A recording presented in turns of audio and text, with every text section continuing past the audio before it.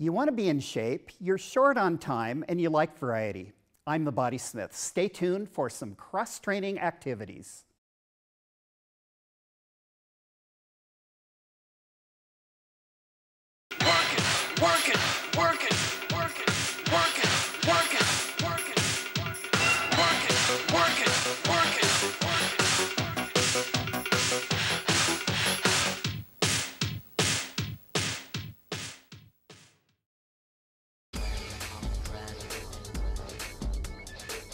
Cross training adds interest to your workout, keeps you motivated, and can reduce risk of injury. I'd like to introduce you today to Lindsay, who at the time of this recording is new to Portland, and she has experience as personal trainer. So come on in, Lindsay. All right. Lindsay and I will be showing you some activities that will help pump you up and get you going. What do you say? Shall we do it? Let's do it. All right. Let's breathe in. Exhale out. One more time. Breathe in. Exhale out. We're going to reach up to the ceiling. Reach and extend. Yeah, this is a way of introducing Lindsay to Portland. She only been here for a few months and reach across and she was telling me prior to the cameras rolling that she's already gotten her car broken into. That's no introduction to a new area. Shame on whoever did that. All right, now circle back. And Lindsay is also a fitness instructor and is a regional coordinator for a large gym chain for fitness, group fitness. Now reach it out, reach and extend. That's how we met. All right, keep going. And since she is a personal trainer, she's going to help us out today with some exercises. Let's do some bicep curls. Like to keep this first part really simple. We're just going to limber up and get ready for the main body of the workout. Hamstring curls, alternating.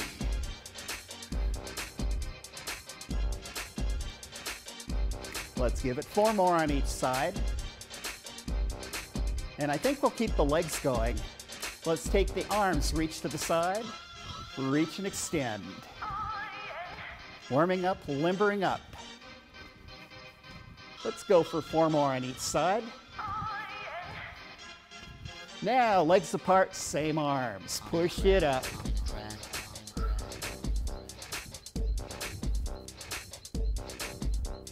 It four more each side. Shoulder level, push it out. You're gonna start to activate that upper back area. Good, squeezing those weights together as you come back. Now push down both arms, elbows high. I like this next song, Stronger. It just kind of defines what we're going to be doing today. Bend the knees to a lunge, side to side. I'm feeling kind of warm here. It's working. Let's take one arm across, pull back. I better be careful there. I do not want to hit Lindsay with my elbow. We're kind of in here close. All right, up and over. Reach and extend. Bend that knee. Good. As we're going lower, low to high. Two more. Circle that arm back. Big circle. This kind of reminds me of using a rope for a lasso. I've never actually done that myself. Now the other side, reach across. Pull back. Now I've got to watch out for flying elbows.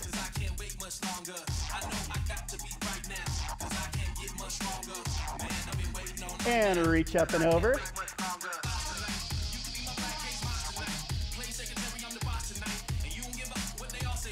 Four more. All right, we're gonna reverse that arm, circle back, big circle.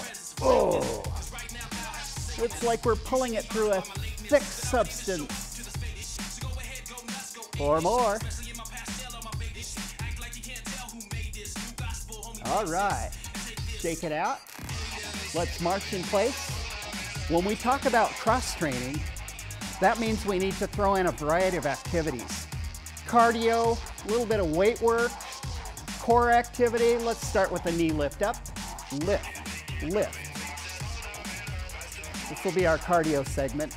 I am purposely keeping this low impact because you can get a great workout doing low impact. Low impact does not mean low intensity. Two, one, knees outside and pull, pull. Good. Kind of lean into that opposite side and work the core. Three, two, and shake it out. Breathe in. Exhale out. What do you say we come back here and pick up a set of weights? Okay. Weights. Are you ready? Good. Let's do a bicep curl hammer up to the shoulders. Elbows staying tight. Just to get used to the feel of those weights. Three more. And one more. Now put the legs together, sit back, push forward, pull back. As you pull back, you're gonna squeeze those shoulder blades together. Perfect. So we're starting to work the lower body along with the upper body. The deltoids, shoulder area, upper back, even a little bit into the pectorals. Now let's reach down, pull up. You're pulling up your knee socks. Does anybody wear knee socks anymore? I think I have a pair of them in a drawer somewhere. Now slow it down, press forward. Shoulder level, and remember, the shoulders actually where they attach. You want to make sure that you don't reach too far up because we want to avoid any possibility of injury. The shoulders actually attach a few inches below the top of the shoulder area where we consider our shoulders. Now pick up the tempo, reach down, pull up. Remember to keep the knees over the ankle. It's like you're sitting back into a chair without using your arms. Third set, reach forward. Pull back.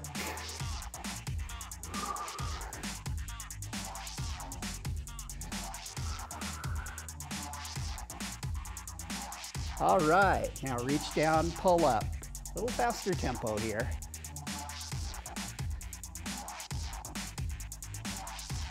Four more.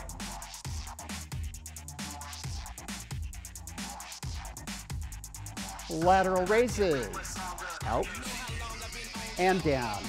Purposely keeping these kind of slow. Very good. Four more. So much easier to control and get the benefit. Keeping control of that weight. One more. All right, for now, let's just put the weights out of the way where you won't step on them. Lindsay, would you like to show us a body weight exercise? You don't even need any weights or anything. Just give us your best. I would. So this is called a Romanian deadlift, and it's essentially just a hip hinge, and you're using your hamstrings to pull yourself up. I think I'll have you show me. Chest stays up, and you just hinge forward, squeeze that booty and those hamstrings, and stand all the way up. Down, and all the way up. So Romanian deadlift, Yes. I love it. Now, if you want to make it a little bit harder, Uh-oh, a little bit harder. working on those abs, working on that balance, we're gonna take one leg up. So, same thing, you're hinging, right? Next time, you're just gonna kick this Whoa! and back. Again. See, you gotta use those abs to keep your balance. Yeah, we're working on balance. So you pick a spot on the floor, about four feet ahead of you. Whoa! There you go. Focus on that. Should we try the other side? Let's try the other side. We want to be balanced. All right. Remember, keep those hips pointing towards the floor at all times. You want them to be squared. You want the shoulders to be squared. And it doesn't matter how far your leg goes up, as long as those hips stay square. The song kind of says it all. It's hard, it's hard, it's hard, it's hard. It is hard. Good. All right. All right, thank you very much. I'll tell you what, let's get the uh, one of these.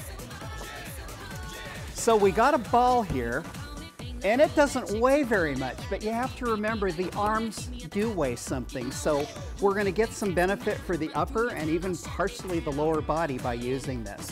Let's take that ball, reach across, and switch sides to the other side. Pull those shoulder blades together as you pull back. So when I've used these in group fitness classes, sometimes they go flying off to the side, lose that grip. And if that happens, just make sure before you go running after it, you realize that there might be obstacles in the way that you don't want to trip over. It's okay if the ball goes away. You just want to be safe in retrieving it. All right, now we're going bowling.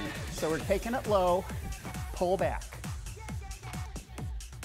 Um, we've been using this exercise quite a lot on this program. And there have been times when we do a show without it. People actually write to me by email and say, We didn't do bowling on Wednesday's program. So you're aiming right between that one and two pin. Let's circle back, big circle. Whoa. Again, bending the elbow, pulling through the upper back, and turning the shoulders. So your shoulders to the side and then squaring to the front. Let's do a couple more here. And we've got a bowl on the other side now. So let's switch sides. Let's go. Bowling. 180 degrees range of motion. So just about to shoulder level. And remember we said shoulders are, the joint actually connects a little lower than the top of the shoulder. I learned that at a workshop I went to. Circle back. It was called body mapping. Body mapping, what's that? Well, they were telling us how the joints connected and how they interacted. It's very interesting. Let's take it to the center. Let's go side, side, side. So you're turning the shoulders, you're bending the knees, so the hips don't move, the hips don't lie. Let's work it up. All right, pull in those abdominals. Not so tight that you can't breathe. Getting some core work here.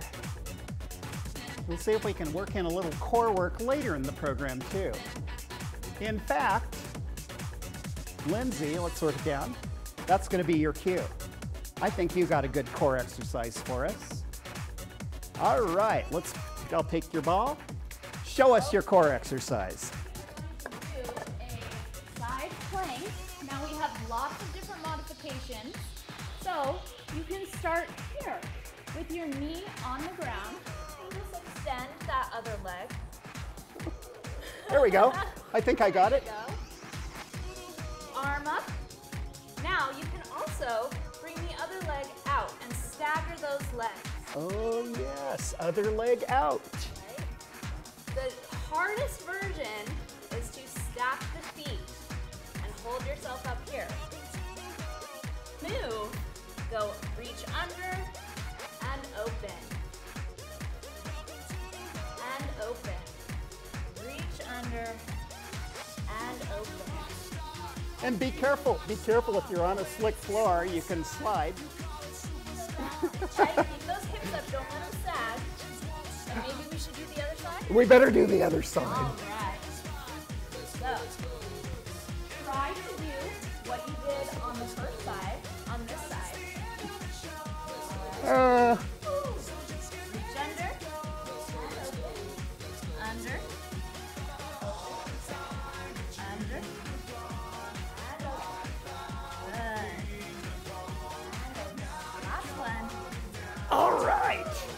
We did it. You did it. The benefits of ah. the benefits of having a professional personal trainer on staff. Now that we've done that, let's start marching again. And let's get a little more kind of cardio-esque type movements. This one, we're gonna lift the knee, step, step back, lift the knee, step, step back, like you're stepping into a limousine. Here we go. Step up, step back, back up, back, back up. You're stepping into that limo and then thinking, oh no, I don't want to go after all. Wait a minute, why wouldn't you want to go on the limo? Now, same thing, but we're going to extend that leg back. Whoa!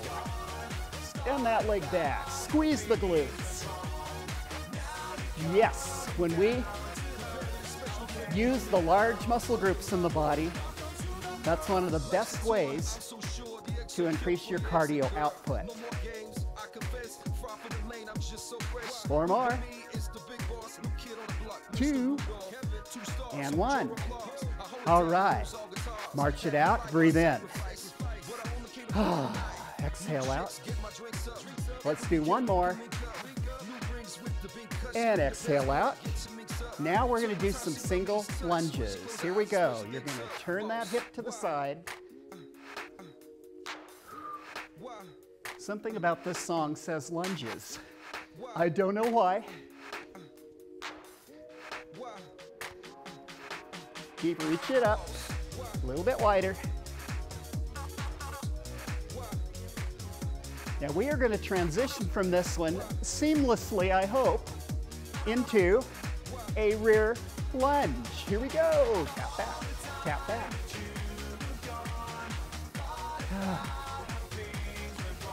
Good job, Lindsay.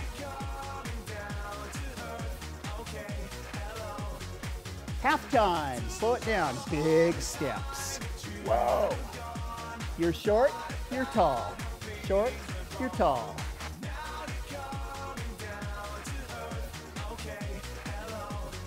Squat to the side, to the other side. I'm so used to just pointing. It works. Let's do four more of these on each side.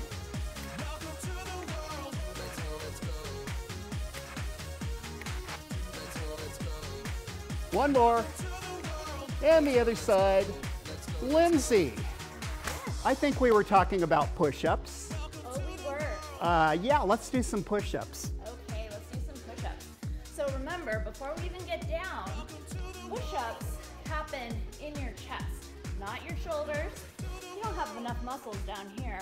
So right in line if at the center of your chest. All right? Now, when you come down, you can stay on your knees, just like this, right? So, you don't want your booty up here, none of this, because remember, our muscles are in our chest. So bring those hips with you. You can also you like Larry, nice and strong. Come up on your toes, and you just come down as far as you can, and exhale, you push up. Keep those abs in tight. Exhale. Inhale on the way down. Exhale. Don't drop that chin. Good. Let's do two more. Push. Use those abs. Excellent. All right, thank you very much. Uh, speaking of working the chest, let's use some of the exercise tubing. We'll get to the chest a little later. We do want to give it a break for now. But let's do some more that will benefit the shoulders and the upper back. So you're to have maybe six to eight inches in between your fingers. Don't let go whatever you do. because if you do, it might snap back and hit you. So we're gonna pull, pull real strong. Oh, I feel those push-ups. And the whole idea here, you're gonna take it about armpit level is where the tubing will come across. Tubing exercises are getting very popular. You can get the tubing in just about any sporting store. It's not very expensive. All right, let's go four more on this. And carefully release. Now it's going to be like you're putting on your overcoat over the head and put it the tubing under your arms. I'll give you a, a view here. So it's right under your arms. And then put enough tension on it that when you push forward and cross, you feel the chest. Let's go. Open, close. Open. And if you're new to this exercise and you are using the tubing, you might have to just kind of play around and adjust the tension on the tube until you feel it working. And also, if you don't have the tubing or any of the other equipment we've been using, it still will be beneficial to follow along and you're just working with resistance, like you're pushing and pulling through a thick substance. Let's do a couple more here. I think we're running just really close to our time limit. Let's bring it down. So let's do another one. We didn't really get the biceps very well. So you want to step down, center, right here, the knees bent. Don't lift that toe. Now pull up for the bicep curl. And depending on your strength and the strength of the tubing you are using, you might need to make adjustments. Like maybe if you're real strong and the tubing isn't, you can double foot it. It's always okay to do that. Or if the tubing that you're using is really, really strong, you don't have to come all the way back like I am. Just do the best you can. Good. I find some of these workouts where we're doing cross training and kind of circuit activities, I sweat more than when I'm doing straight cardio. Unless it is in Lindsay's indoor cycle class. That one, I sweat a lot.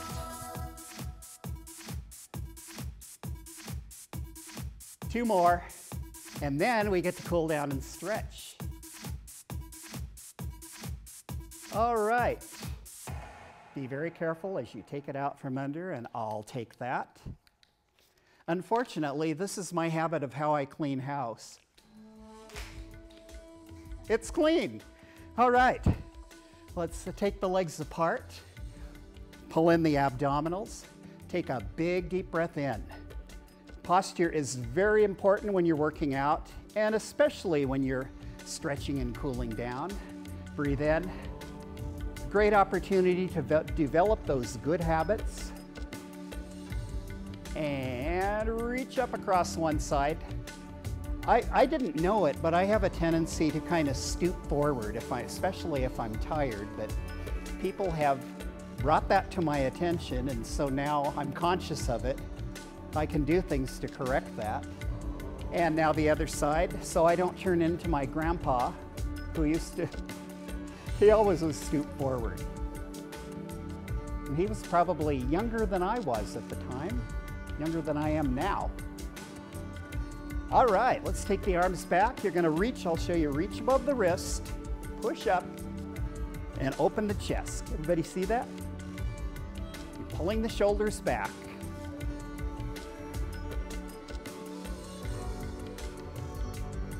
And push forward.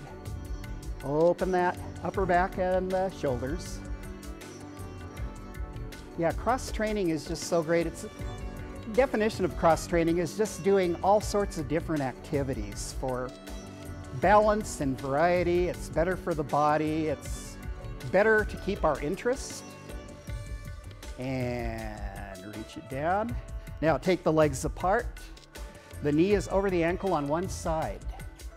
You're going to stretch the inner thigh and the groin. And Lindsay and I both are practitioners of cross training in our personal workouts. I do a lot of bike riding, different kinds of classes, weight training. Let's reach around and reach behind. A good way to get a good stretch throughout the back and the core. We did a lot of those sneaky core exercises today that you may not realize you're working the core, but you're getting a core workout. Let's go to the other side while we're here. Start with the inner thigh. Just let your body weight bring you down. Now, if your knee is so far over your ankle that you can't see your foot, you know you need to widen it out a little bit. Good, good. Now take the arm behind, reach to the hip, look up and over the shoulder. Kind of looks cool anyway, this pose. It reminds me of that, is it Roman or Greek statue, the discus thrower? And bring it back to the center. Breathe in. We're going to do a runner's lunge. So start with knees over the ankle, slide the leg back, tighten the gluteus maximus, bend the back knee. At the same time, you're pressing the heel toward the floor. I tried to throw a discus once. It didn't go well. and bring it in, halfway. Now you're gonna hinge forward over that front leg. Just bend at the hip, keep the upper body elevated, and raise the toe. Flex that foot back. I remember in high school I had some friends, girls that were on the track team that did the discus. Let's bring it back. And runner's lunge. They even named the discus. They called it Myra. They would always say, I'm going out to throw Myra. Poor Myra. All right. Step about halfway in, lean it out forward, over that leg. The knees bent. Good stretch.